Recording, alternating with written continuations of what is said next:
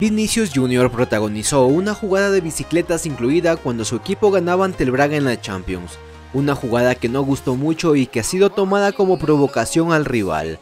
La polémica se encendía cuando Mikel Camps, directivo del Barça, publicó en su red social el siguiente mensaje. No es racismo, se merece una colleja por payaso y vacilón que representan estas bicicletas innecesarias y sin sentido en el centro del campo. Por supuesto que el madridismo tuvo su reacción.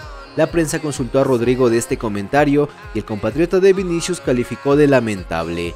¿Qué puede acusar a un compañero tuyo de Bueno, ya no, no sé qué, qué, hablar sobre eso, no sé ni si puedo, puedo hablar porque siempre nos orienta a no hablar.